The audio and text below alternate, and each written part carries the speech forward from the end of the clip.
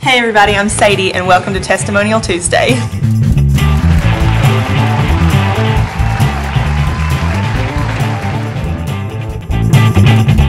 Well, it all started when I brought my Camaro in for a warranty repair, and the dealership gave my wife a new Silverado to drive home until the next day.